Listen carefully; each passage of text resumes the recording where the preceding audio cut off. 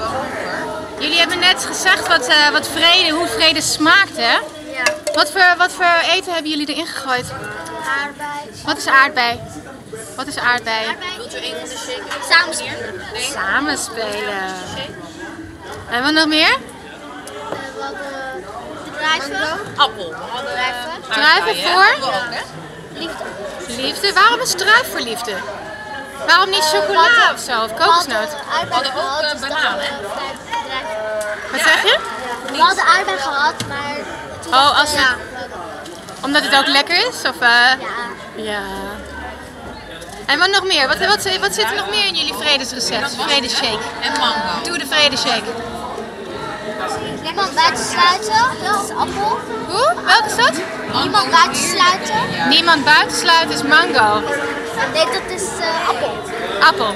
Ja, want een appel kan je delen. En de weerman, dat is Vrede, hè?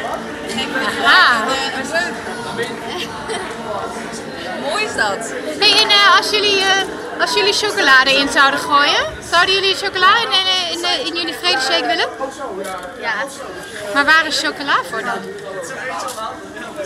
Als ik aan chocola denk, dan denk ik aan ja, gezelligheid. Eh, eh, mm, een moment voor mezelf. Maar misschien denken jullie naar iets anders. Ja. Geen honger meer in de wereld. Geen honger meer, dat we allemaal lekker chocola eten. Ja. ja en dan straks Zal ik er chocola in doen? Ja. Doe het zo, als versiering. Willen jullie graag een, een shake met yoghurt of met melk? Wat vinden jullie het meest vredig? Ja? Melk? En waarom melk? Past eigenlijk. Dat past gewoon. Ja? Dat vind je gewoon lekker misschien.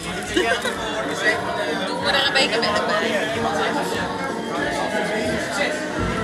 Oh, en eh, hier hebben we ook nog een beetje pikante paprika. Een beetje